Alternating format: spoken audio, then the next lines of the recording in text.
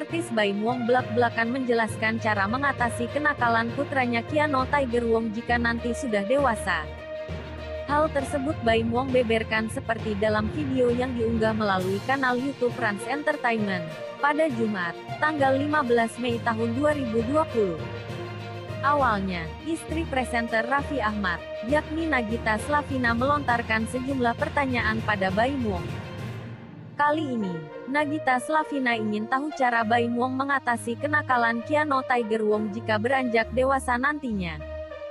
Terutama, saat Kiano Tiger Wong belak-belakan mengakui kenakalan yang sudah diperbuatnya.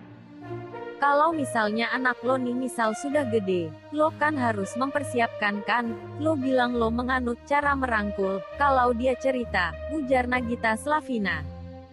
Pah tadi Kiano gini, gini, sama cewek, atau tadi bandel gini.